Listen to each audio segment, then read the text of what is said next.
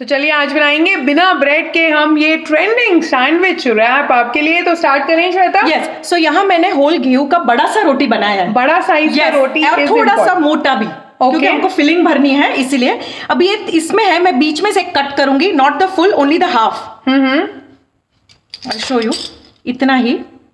It like this you can fold it like that so now मैं मेरी green chutney I will spread across the whole thing तो देखिए जब आपका कुछ बनाने का मन नहीं हो और आपको लाइट चटपटा लंच या डिनर बनाना है तो ये परफेक्ट रेसिपी है आज आपके लिए।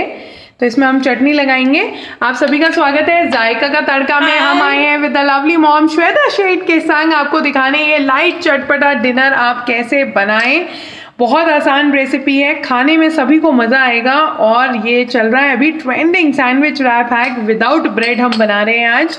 इसमें सो मैंने पूरी चटनी लगा दी है। अभी मैं एक साइड ये टमाटो केचप लगाऊँगी।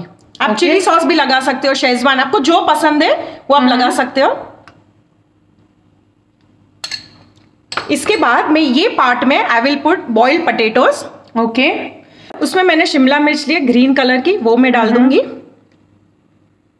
और ये साइड वाले में मैं पहले डालूँगी टमाटोज़ देखिए पूरे सैंडविच की वेज सैंडविच की जो फिलिंग होती है ना हम यहाँ पर लगा रहे हैं। अगर आपको भी ये रेसिपी अच्छी लगे तो लाइक शेयर करिए। जो दिखता है वो ही बनता है जायका का तड़का में। और ये अनियन के स्लाइस स्लाइसेस और ये एक साइड मैं चीज़ स्लाइस लगाऊँगी।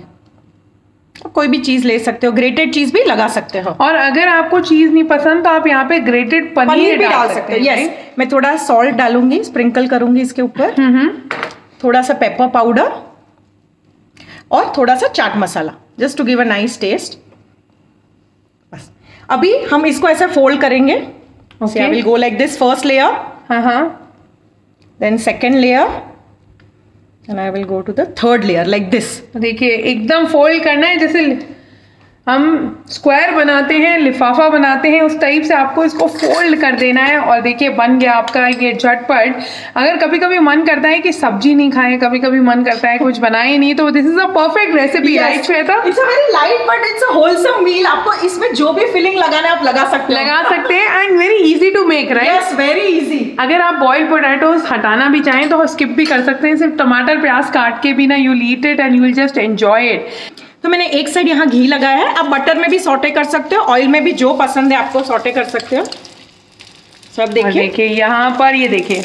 देखिए सैंडविच रैप आपको दिख रहा है। किसका मन नहीं करेगा घर में इसको खाने का? विदाउट ब्रेड करके हम ये सैंडविच यहाँ पे बना दिया है। रैप आपके लिए। फिलिंग है हेल्दी है टेस्टी है और सबसे अच्छी बात है सारी मॉम्स के लिए जो भी कुकिंग करते हैं उनके लिए बहुत ही आसान रेसिपी है जो आप कभी भी जब आपका मन करे अगर अच्छी लग रही है तो लाइक करिए बताइए हमें कमेंट्स में। And you know what you make it very crispy इसको एकदम actually slow to medium flame पे करेंगे। So it become very nice and crispy yes you can see बिल्कुल। Everything all the filling you can see तो ये cooked रोटी हमने यहाँ पे ली है तो इसीलिए अंदर वाली लेयर नहीं होगी। है ना? तो सिकी हुई रोटी हमें लेनी है जी। मन करेगा आपका भी इसको खाने का ये ज़बरदस्त रेसिपी रेडी है।